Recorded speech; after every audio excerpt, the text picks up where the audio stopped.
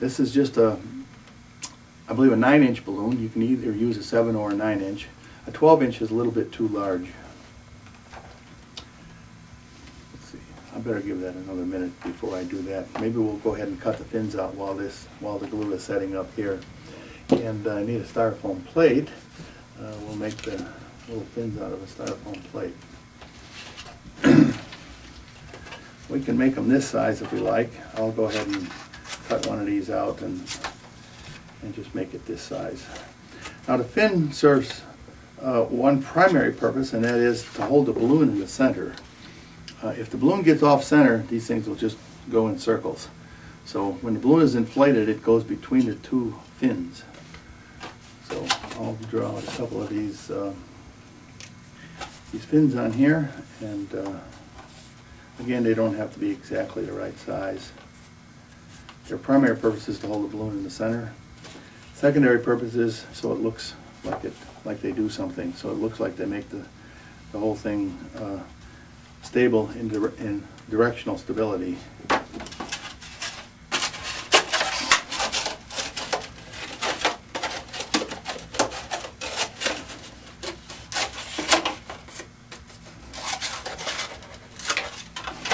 And there's one of them.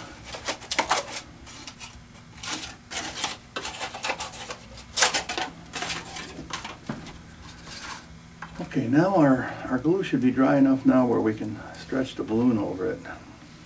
And once again, sometimes this may take a second hand, but I'm gonna attempt it by myself the first time here. It looks like it works a lot better stretching it over the rigid foam. And of course, I want to center it up. So, see right now the balloon is a little bit high. I'm just going to try to take a little bit of balloon material away from the top here to get it so that it blows right through the center of the straw.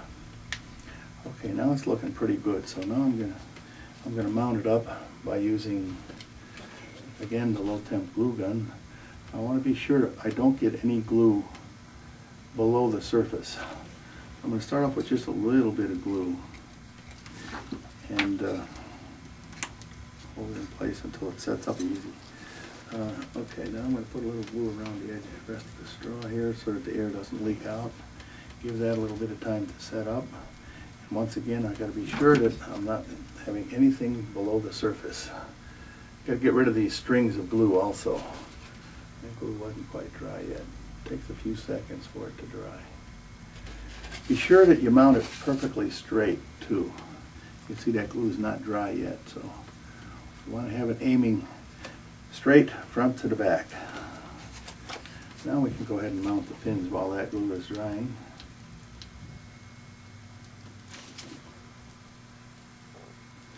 Put them all the way at the back. When the balloon inflates, it gets larger. That glue is taking a little bit of time to set up. I put it on pretty thick. But we'll just be patient with it and wait for it to set up.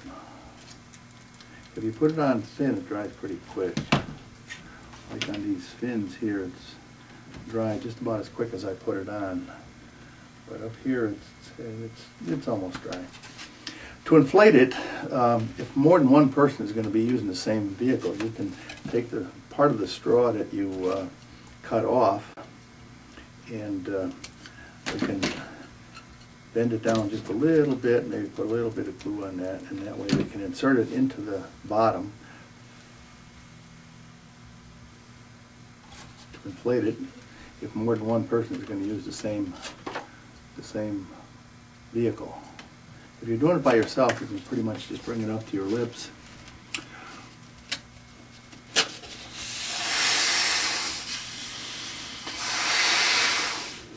And then hold it pinched while you set it down on the, on the surface.